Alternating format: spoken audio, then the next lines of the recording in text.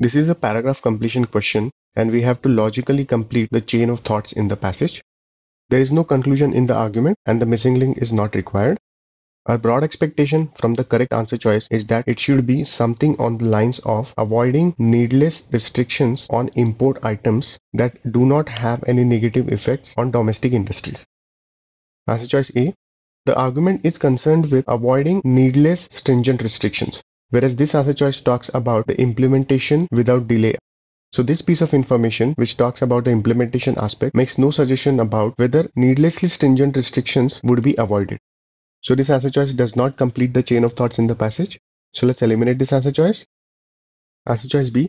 This answer choice says that Exonia, that is the country in question, is the sole importer of all the quantity of any given imported goods from the exporting country.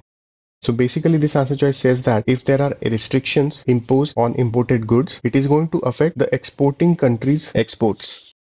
However, this answer choice does not suggest anything about whether needlessly stringent restrictions would be avoided. So this answer choice does not complete the chain of thoughts in the passage.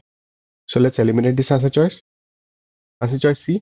This answer choice talks about regions that import the highest quantity of goods.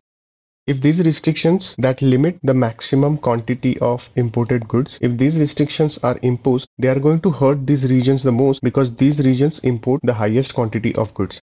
So the representatives of these regions are likely not in favor of limiting the maximum quantity of imported items.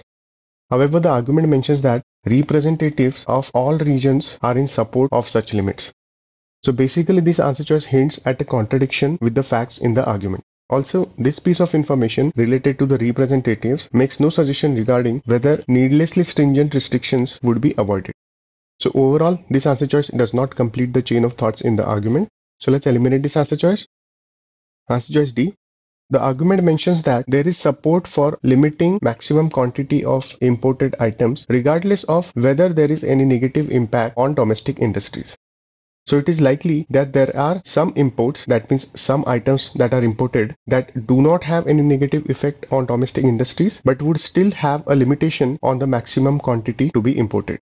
Such a restriction would be needless because that import does not have any negative effect on domestic industries. So this answer choice which talks about verifying the negative effect on domestic industries before any import is restricted this step will ensure that there will not be any needlessly stringent restriction on items that have no negative impact on domestic industries. So this statement logically completes the chain of thoughts in the passage.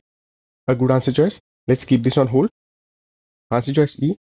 This answer choice talks about the economic damage that is inflicted on domestic industries and says that this damage is reversible.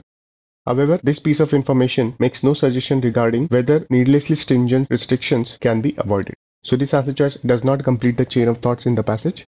Let's eliminate this answer choice. D is the correct answer choice.